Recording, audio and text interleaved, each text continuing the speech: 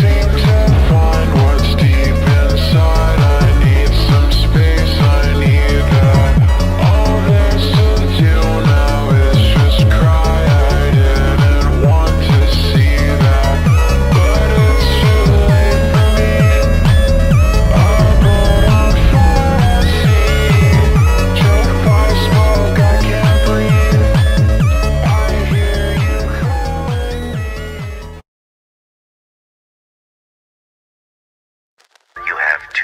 minutes of oxygen left.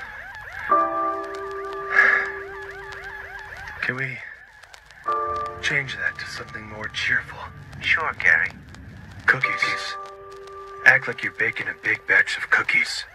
Gary, the cookies will be done in two minutes. Oh, fantastic. I love cookies.